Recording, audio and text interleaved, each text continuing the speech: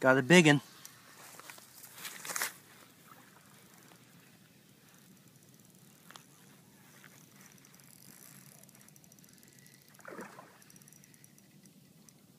She's a pig.